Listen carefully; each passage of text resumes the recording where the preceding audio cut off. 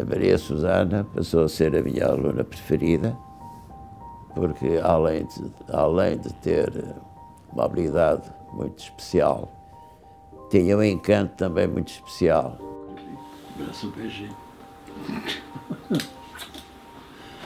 E eu falava muito em casa e as pessoas, e a minha madrinha dizia, pronto, aquele mestre, aquele mestre. Eu achava, achei-lhe graça.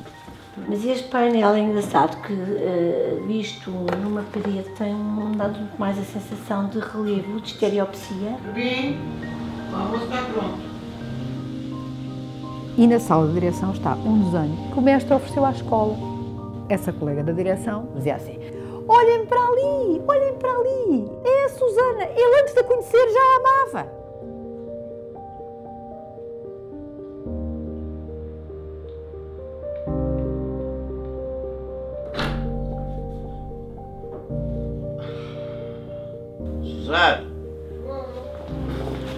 O homem vai se passar. Claro que o Corbim era sempre o Corbim para mim. Era uma coisa muito, era uma pessoa muito forte na minha vida, extremamente forte, até porque eu acho que nasci para, para o amar. Não, já não tenho dúvidas nenhumas. E ele a mim.